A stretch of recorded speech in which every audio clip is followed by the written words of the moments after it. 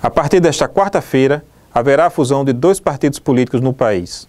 O PPS, que surgiu a partir do antigo PCB depois da crise do movimento comunista internacional, se junta ao PMN, criado na década de 80 para disputar as eleições presidenciais. O novo partido já tem algumas características definidas. Ele será de oposição ao governo Dilma Rousseff e tem a intenção de apoiar a candidatura do atual governador de Pernambuco, Eduardo Campos, à presidência da República.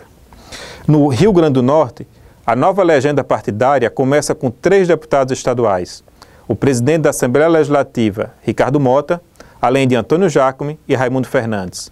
Os três são atualmente filiados ao PMN. No Estado, a nova legenda partidária fará parte da base de apoio do governo Rosalba Ciarline, uma vez que esses políticos que a integram já são próximos da administração estadual. Resta saber o destino do novo partido nas eleições de 2014, tanto no Rio Grande do Norte como no país.